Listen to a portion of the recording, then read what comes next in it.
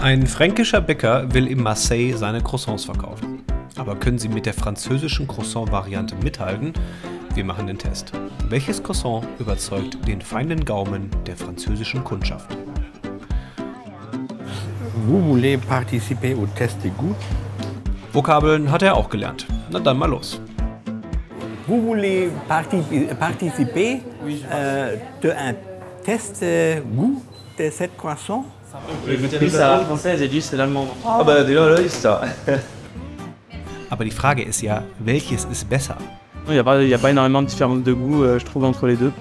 Je vais rester sur le croissant français, mais il est bon, euh, il est bon aussi l'autre. Un super Kommentar.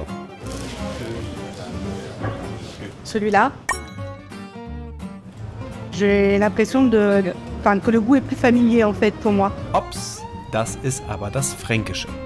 Si je devais juger quelqu'un euh, sur, cette, euh, sur cette rencontre, In frischem Zustand werden sie sehr, sehr ähnlich sein.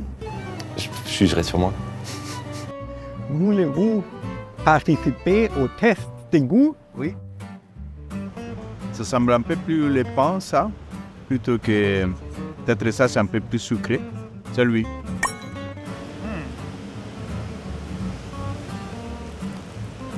Ah, il est bon, lui. C'est pas la même recette, c'est sûr. Il y en a un qui est allemand, là?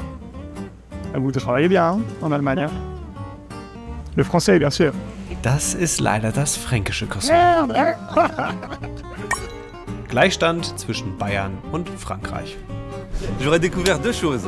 Une belle personne et une belle technique. C'était une chouette découverte. Merci. C'est un plaisir. Je suis content d'avoir accueilli.